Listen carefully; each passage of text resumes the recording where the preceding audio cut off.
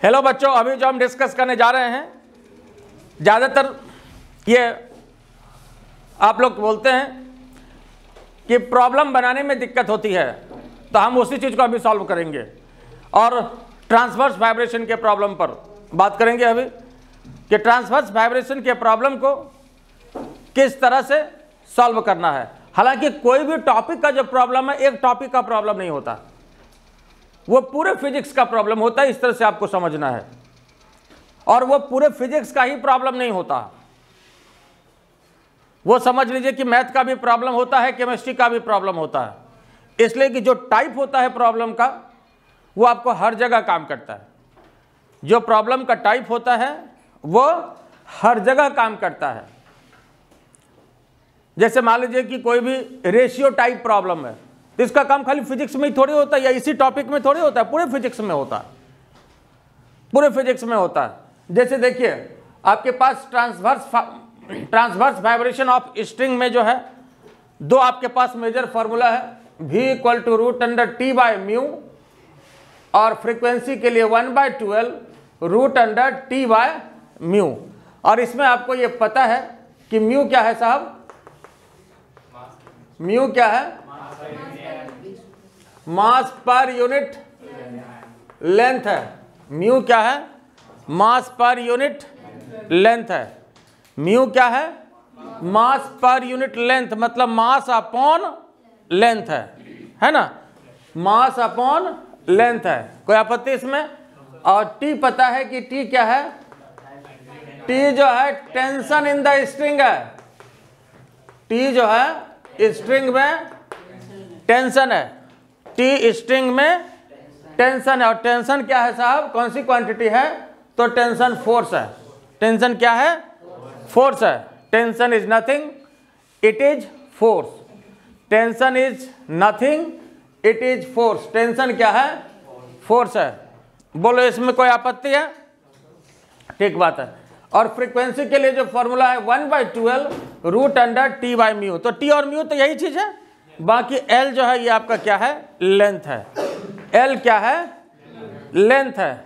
अब देखो, जो हमने कहा कि ये एक जगह का प्रॉब्लम नहीं है, पूरे फिजिक्स का प्रॉब्लम है। कैसे?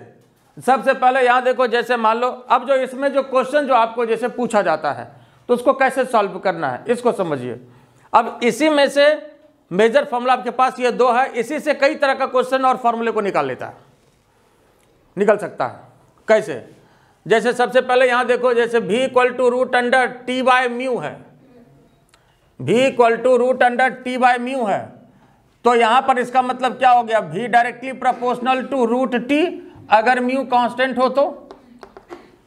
अगर म्यू कांस्टेंट हो तो इसका मतलब v directly proportional to root T तो इसका मतलब देखो, v directly proportional to root T जैसे हो गया तो रेशियो फॉर्म में v1 one upon V two equal to root under T one upon T two V one upon V two equal to root under T one upon T two तब इसी से देखिए आपका जो क्वेश्चन निकला जैसे, अगर टेंशन स्ट्रिंग में ज़्यादा हो तो वेलोसिटी क्या होगा? ज़्यादा होगा? डायरेक्टली प्रोपोर्शनल टू टी है। तो टेंशन स्ट्रिंग में अगर ज़्यादा होगा तो वेलोसिटी क्या होगा? ज़्यादा होगा। आई बात समझ में? ये खुद एक क्वेश्चन बन गया। तो यहाँ पर म्यू कांस्टेंट है तो ये रेशियो बना। और इस तरह का फॉर्म क्या एक ही जगह के लिए थोड़ी है? सब जगह के लिए है। कहीं भी हम अगर रेशियो का फॉर्म लेना चाहते हैं तो बाकी जो रिमेनिंग फैक्टर होगा, वो कांस्टेंट होना चाहिए।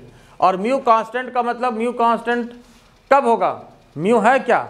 मास पर यूनिट लेंथ है। म्यू क्या है? मास पर यूनिट लेंथ है। मतलब अगर यूनिफॉर्म वायर हो वायर क्या हो? यूनिफॉर्म हो। तो नेचुरली मास पर यूनिट लेंथ तो सब जगह बराबर हो गया। है ना? वायर अगर यूनिफॉर्म हो, कहीं पतला मोटा नहीं हो तो वैसे स्थिति में मास पर यूनिट लेंथ क्या हो जाएगा? बराबर हो जाएगा। बात समझ में आया या नहीं आया? ठीक है? तो आपका ये फॉर्मूला काम करेगा। फिर अब यहाँ पर देखिए, जैसे फ्रीक्वेंसी के लिए जो आपके पास फॉर्मूला है N equal to one by twelve root under T by mu तो यहाँ पर फ्रीक्वेंसी के लिए ऐसे तो आपके पास ये फॉर्मूला है, लेकिन अगर ये दोनों ही फैक्टर कांस्टेंट हो सपोज़ टी और म्यू दोनों कांस्टेंट हो टी और म्यू अगर दोनों कांस्टेंट हो साहब तो एन जो है इनवर्सली प्रोपोर्शनल टू एल हो गया। हुआ कि नहीं? फिर देखो, फिर यही चीज़ यहाँ आपको लागू हुआ कि नहीं? इसलिए बोलते हैं एक जगह के लिए थोड़े, पूरे फिजिक्स के लिए। अब ये दोनों कांस्टेंट हो गया N inversely proportional to one by L हो गया। तो वन बाय एल का मतलब क्या हुआ साहब? N one upon N two equal to inversely proportional का उल्टा, इसका मतलब L two upon L one है ना? N one upon N two equal to L two upon L one कोई तकलीफ़ इसमें? N one upon N two equal to L two upon उल्टा हुआ ना? और यहाँ पर भी के साथ क्या रिलेशन था टेंशन के साथ? सीधा था। और यहाँ पर क्या हो जाएगा? उल्टा मतलब लेंथ ज़्यादा हो तो फ्रीक्वेंसी क्या होगा? लेंथ ज़्यादा होगा तो फ्रीक्वेंसी क्या होगा? उल्टा है तो कम होगा। लेंथ ज़्यादा होगा तो फ्रीक्वेंसी कम होगा। लेंथ कम होगा तो फ्रीक्वेंसी ज़्यादा होगा। आई बात समझ में? तो लेंथ अगर कम हो, जैसे मान लो गिटार का वायर है लेंथ अगर कम होता है तो फ्रीक्वेंसी क्या होता है? ज़्यादा होता है। जैसे जो गिटार बजाते हैं, उनको देखते होगे कि बजाने के पहले उसको जो है सेट करता है, थोड़ा इधर उधर करके टाइट वाइट करके, उतना हम नहीं जानते हैं क्या क्या करता है। लेकिन इसलिए करता है कि फ्रीक्वेंसी जो निकलेगी, वो उसके इस सारे फैक्टर पर डिपेंड करेगा। है ना? कितना टेंशन है टाइट है कि नहीं है, उस पर डिपेंड करेगा। है ना? ये सारा फैक्टर उसमें काम करता है। बात समझ में आ रहा है? तो गिटार बजाने में भी इसका एप्लीकेशन समझ गए ना? तो गाना वाना जो सुनते हो, उसमें भी इसका एप्लीकेशन होता है है ना? तो फिजिक्स का जो है, हर जगह काम होता है। जो गाना सुनते हो, उसमें भी काम है है ना? जैसे इसके बाद बजा पढ़ाएँगे आपको ऑर्गन पाइप तो उसमें जो है हारमोनिया जो सुनते हो, उसमें उसका अप्लीकेशन है। बॉसरी जो सुनते हो, उसमें उसका अप्लीकेशन है है ना? तो पिया पूरा जो म्यूज़िक सिस्टम है, उसमें फिजिक्स काम करता है है ना? पूरे म्यूज़िक सिस्टम में फिजिक्स काम करता है। खैर, चलिए, अब यहाँ की बात कर लें। तो N one upon N two equal to L two upon L one तो क्वेश्चन कैसे प्रोड्यूस होता है बात समझ में आया? लेंथ बढ़ेगा तो फ्रीक्वेंसी क्या होगा? घटेगा। उल्टा, ठीक है? अब फिर यहाँ पर देखिए, जाओ और जो क्वेश्चन आपका बनता है। देखो, अगर सही तरीके से आप फॉर्मूला को यूज़ करना सीख गए तो फिर क्वेश्चन बन गया। फिर कोई दिक्कत की बात नहीं है। दिक्कत तो वही मेन होता है कि भाई फॉर्मूला को कैसे हमको यूज़ करना है? फॉर्मूला याद नहीं रहता है। कैसे फॉर्मूला को निकालना है? तो आप देखो, दो फॉर्मूला से ही सारा फॉर्मूला निकल जाएगा। जिसकी भी ज़रूरत पड़ेगी क्वेश्चन में। अब फिर यहाँ पर देखो। एन इक्वल टू आपके पास जो one by twelve root under T by mu है तो इसमें म्यू क्या है? म्यू क्या है? मास पर यूनिट लेंथ है। मास पर यूनिट लेंथ का मतलब मास अपॉन लेंथ है। मास पर यूनिट लेंथ का मतलब मास अपॉन लेंथ है। आई बात समझ में? मास पर यूनिट लेंथ। ये बताओ, जैसे मास को हम क्या लिख सकते हैं? वॉल्यूम इंटू डेंसिटी लिख सकते हैं? वॉल्यूम इंटू डेंसिटी डेंसिटी मान लेते हैं रो और लेंथ को मान लिया जैसे एल फिर वॉल्यूम को क्या लिख सकते हैं? एरिया इंटू लेंथ लिख सकते हैं। वॉल्यूम को क्या लिख सकते हैं? एरिया इंटू लेंथ लिख सकते हैं। और नीचे क्या? फिर एल एल एल कट गया। तो इसका मतलब है कि म्यू को क्या दे सकते हैं? एरिया इंटू डेंसिटी दे सकते हैं। म्यू को एरिया इंटू डेंसिटी दे सकते हैं। ठीक है? अब यहाँ पर देखो म्यू को एरिया इंटू डेंसिटी तो यहाँ जो है N equal to one by twelve root under T by mu T by mu तो यहाँ पर टी अपने जगह पर नीचे म्यू म्यू को यहाँ पर एरिया इंटू रो ठीक है? म्यू को एरिया इंटू रो कोई तकलीफ़ है इसमें? अब यहाँ पर देखो फ्रीक्वेंसी के लिए एक तो यह भी फॉर्मूला हो गया। One by two L root under T by mu और म्यू को क्या लिखा है यहाँ पर? एरिया इंटू रो अब ये बताओ एरिया देखो एरिया जो वायर का होगा, जैसे वायर जो होता है तो उसका ये एरिया लेना है क्रॉस सेक्शनल एरिया जैसे मान लो सपोज़ जैसे ये वायर है, ठीक है, हालाँकि पतला वायर होगा। तो ये जो एरिया है ये इसका क्रॉस सेक्शनल एरिया होता है, ये एरिया तो ये एरिया कितना हो जाएगा? फिर इसका रेडियस कुछ सर्टेन बनेगा। अब क्वेश्चन को थोड़ा और अगर बढ़िया करना चाहेगा, तब इसको रेडियस के टर्म पे ले जाएगा। बात समझे कि नहीं? तब क्या करेगा? थोड़ा सा अच्छा बनाना चाहेगा तो इसको क्या करेगा? रेडियस के टर्म पर ले जाएगा। तो फिर एरिया को हम क्या करेंगे साहब? इसका एरिया कितना हो जाएगा? पाई आर स्क्वायर हो जाएगा। कोई तकलीफ़ इसमें? अब यहाँ पर जो है one by twelve root under T और नीचे जो है pi R square into density तो अब देखिए, ये फ्रीक्वेंसी के लिए आपके पास फॉर्मूला हो गया। आई बात समझ में? फिर अगर थोड़ा सा और चेंज करना चाहेगा और थोड़ा बढ़िया करना चाहेगा तो क्या करेगा? रेडियस को डायमीटर के टर्म में लेते चला जाएगा। तो रेडियस को डायमीटर के टर्म में क्या दे सकते हैं? R equal to D by two बात समझ गए? रेडियस को डायमीटर के टर्म में लेते जाएगा। तो यहाँ पर देखिए तो N equal to one by twelve root under T pi R को क्या लिख सकते हो साहब? डी बाई टू का whole square into rho तो यहाँ पर ये इस टर्म में लेते जाएगा। तो क्या देखे इसी से कई आपका फॉर्मूला यहाँ पर मिल रहा है कि नहीं मिल रहा? है बात समझ में आया? तो अब यहाँ भी देखो अच्छा ये बताओ कि रेशियो फॉर्म में अगर हम बात करें रेशियो फॉर्म में तो फ्रीक्वेंसी और रेडियस के बीच क्या रिलेशन होगा? जरा बताओ तो। बाकी सब फैक्टर अगर कांस्टेंट हो, मान लो डेंसिटी कांस्टेंट हो टेंशन कांस्टेंट हो, है ना? बाकी सब फैक्टर कांस्टेंट हो तो फ्रीक्वेंसी और रेडियस के टर्म में क्या रिलेशन होगा? क्या होगा बोलो तो? इन्वर्सली प्रोपोर्शनल होगा। बात समझ में आ रहा है कि नहीं आ रहा है? तो यहाँ पर जो है इन्वर्सली प्रोपोर्शनल होगा और ये स्क्वायर है। ये स्क्वायर भी है और यहाँ पर ये रूट है तो ये तो कट जाएगा ना? आई बात समझ में? कोई दिक्कत इसमें? तो आइए पहले इसको लिख लीजिए और फिर यहाँ पर देखिए, ये तो लिखा हुआ ना आपके पास इधर? ठीक बात है। अब यहाँ देखिए, फिर और जो बढ़िया क्वेश्चन आपका बनता है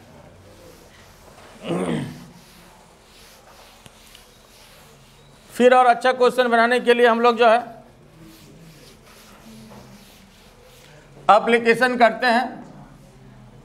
इस फॉर्मूले का भी equal to root under T by mu अब इसमें यह बताओ, जरा फिर देखिए अब यहाँ से। हमारे पास जो म्यू है म्यू क्या है? मास पर यूनिट लेंथ और अगर ये कांस्टेंट हो, अब हम ये मान रहे हैं कि अगर ये क्या होना चाहिए साहब? कांस्टेंट होना चाहिए। म्यू क्या होना चाहिए?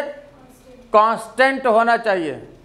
तो इसका मतलब ये तो हम लोग देखें कि V one by V two equal to root under T one by T two ये तो हम लोग देखें। अब देखो, जैसे मान लो कहीं भी कोई भी वायर है और ये बताओ इस पॉइंट पर, इस पॉइंट पर, इस पॉइंट पर, इस पॉइंट पर जो वेलोसिटी इसका होगा। अगर मान लो यूनिफॉर्म वायर है सपोज़ यूनिफॉर्म वायर है तो हर एक पॉइंट पर वेलोसिटी क्या होगा? बराबर होगा या अलग अलग होगा? हर एक पॉइंट पर जो वेलोसिटी होगा, वो आपका अलग अलग होगा। क्यों अलग अलग होगा? देखो म्यू तो हमने सेम मान लिया, लेकिन टेंशन अब हर पॉइंट पर क्या बराबर यहाँ पर होगा? वायर यूनिफॉर्म ज़रूर है, लेकिन ये वायर तो मासिव है ना। वायर मासिव ले रहे हैं। वायर का मास ले रहे हैं हम लोग, तभी तो मास पर यूनिट लेंथ ले रहे हैं। ठीक है ना? तो हर एक पॉइंट पर जो टेंशन होगा, वो अलग अलग होगा। या और यह एक मेजर क्वेश्चन बनता है इसमें। अब देखो, जैसे मान लो, नीचे इसका फ्री इंड है। नीचे क्या है? फ्री इंड है। जरा ध्यान से देखो। और यहाँ से हम एक्स डिस्टेंस पर हम आपसे टेंशन पूछ रहे हैं। चलो थोड़ा सा इस डिस्टेंस को और ऊपर बढ़ा देते हैं। यहाँ पर हम एक्स डिस्टेंस पर जो है, इस पॉइंट पर हम टेंशन पूछ रहे हैं। सपोज़ तो अब यहाँ पर देखो कि जैसे v equal to root under T by mu तो यहाँ पर टेंशन कितना होगा, ये हमको चाहिए। म्यू तो कांस्टेंट है म्यू हम लोग बैठा देंगे। लेकिन यहाँ पर टेंशन जो है टेंशन का मतलब क्या हुआ? इसके नीचे जितना मास लटक रहा है, जो वेट इसका लटक रहा है, उसके कारण कितना टेंशन होगा? है ना? आई बात समझ में?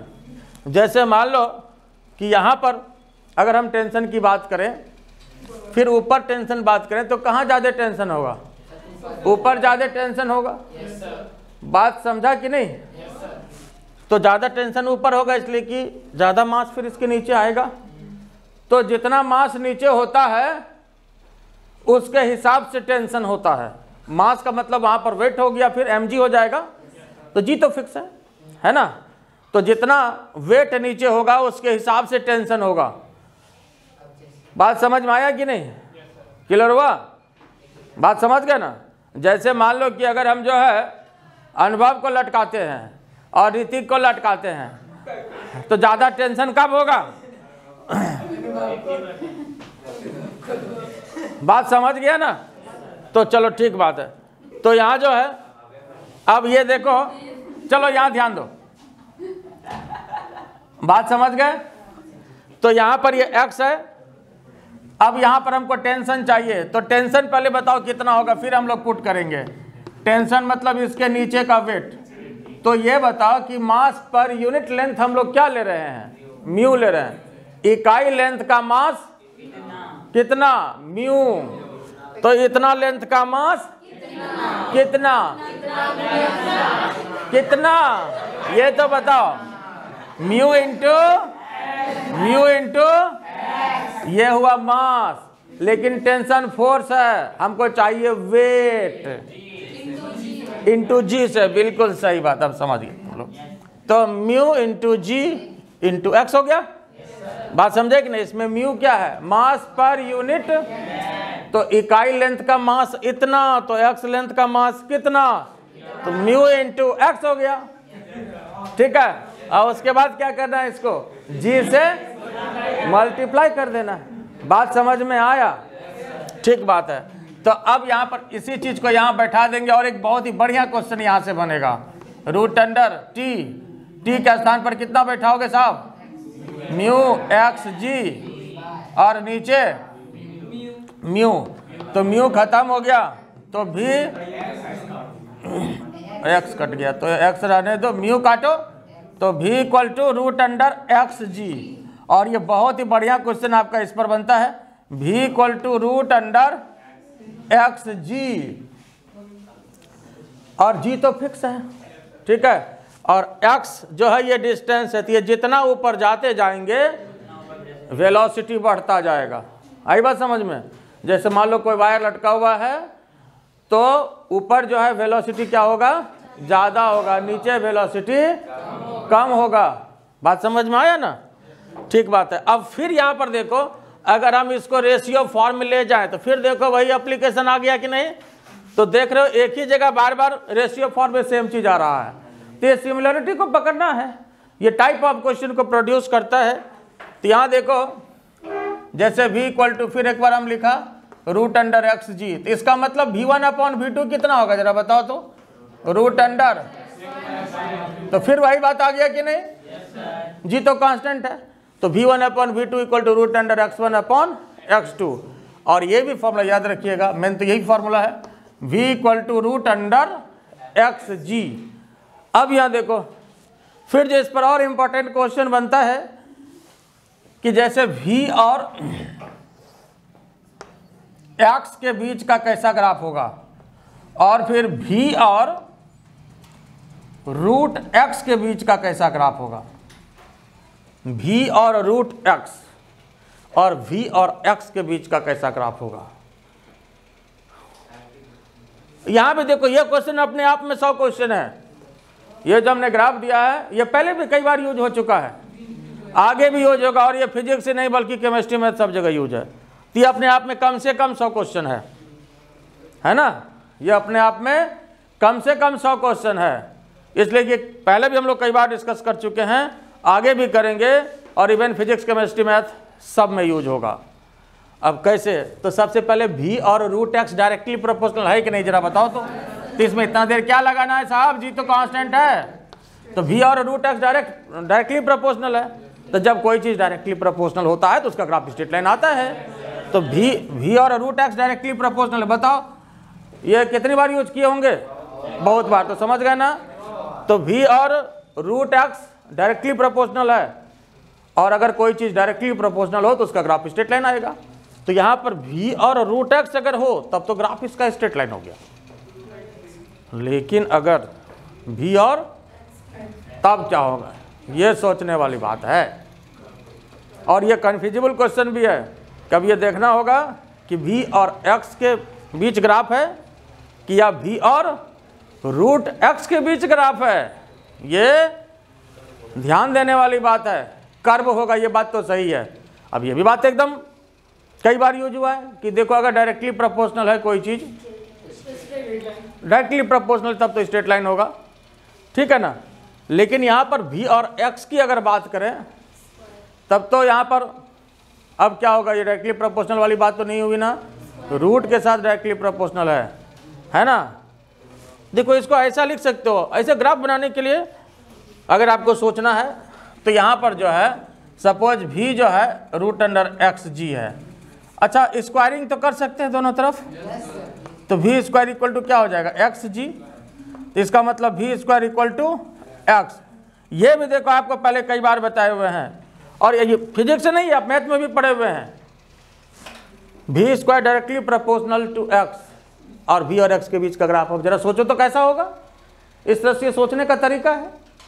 देखो, अगर स्क्वायर भी पर होता है ना साहब, अगर स्क्वायर भी पर होता है तो कोई भी ग्राफ एक्स के सिमेट्रिकल होगा। ग्राफ क्या होगा? एक्स के सिमेट्रिकल होगा। ऐसे सोचो, जरा एकदम बच्चा जैसा। मान लो तुम एक्स को कर दो पाँच, या ये भी को कर दो पाँच एक्स कितना होगा बताओ तो? इसको बराबर मान लो, समझने के लिए। हालाँकि तरीका गलत है, लेकिन तरीका बता रहे हैं, कैसे क्वेश्चन को बनाना है। भी मान लो पाँच कर दो तो एक्स का वैल्यू कितना हो गया? भी मान लो फिर कर दो छ। तो भी बढ़ाए एक से मात्र। और एक्स बढ़ गया? एक्स बढ़ गया नौ। बारह बहादुर सब। एक्स बढ़ गया ग्यारह से। आपत्ति? समझ गए? तो भी कम से बढ़ेगा तो एक्स कितना से बढ़ गया? भी को मात्र पाँच से छह किया हम। ये वह बच्चा जैसा सोचने का तरीका, गरीब आदमी जैसा सोचने का तरीका, अकल के साथ नकल करने का तरीका। ठीक है? कि भी को जो हम क्या किया? पाँच से छह कर दिया। तो एक्स का वैल्यू क्या हुआ? पच्चीस से छत्तीस। भी को थोड़ा सा बढ़ाया। एक्स बहुत बढ़ गया। अच्छा इसमें आपको हम दो ऑप्शन दे रहे हैं। बताओ तब इस दोनों में सोच के कौन होगा? एक ऐसे एक ऐसे। कौन ग्राफ सही होगा? हम्म? बोलो। ये तो आप समझ गए भी और रूट एक्स का मामला हम खत्म करते हैं अब। इस ग्राफ को हम नीचे बना देते हैं, कहीं उधर कटेगा। तो भी और एक्स, दो ऑप्शन देते हैं। अब बोलो, कौन सा ग्राफ सही होगा इसमें? क्या सोच के बोल रहे हो? एक्स बहुत बढ़ गया। चलो तो ये भी तरीका सही है। है ना? सब जायज़ है, जैसे भी क्वेश्चन बनना चाहिए। एक्स बहुत बढ़ गया ना? और इसमें एक्स क्या हुआ? देखो तो कम से बड़ा। इसमें मैथ का ज़्यादा कम है? कॉमन सेंस का ज़्यादा कम है। है ना? बात समझ में आया ना? इस तरह से पकड़ लेंगे हम लोग ऑप्शन में पकड़ लेंगे इसे। ठीक है? अब ऐसे याद रखने का एक तरीका तो बताए ही कि स्क्वायर अगर भी पर हो ना तो ग्राफ एक्स के सिमेट्रिकल होता है। स्क्वायर अगर एक्स पे हो तो भी के सिमेट्रिकल होता है। सिमेट्रिकल मतलब उसको घेरेगा। ऐसे समझना। बच्चा वाला तरीका। बात समझ गया ना? गरीब आदमी वाला, जैसे हमें तो उस टाइप से बता रहे हैं। है ना? बात समझ में आया ना? ऐसे ही हम भी याद रखते हैं। हम भी गरीब आदमी हैं तो तुम लोग भी अपना ऐसे याद रखोगे? ठीक है? तो यहाँ पर देखो तो भी और एक्स के बीच का कौन ग्राफ होगा? ये ग्राफ होगा?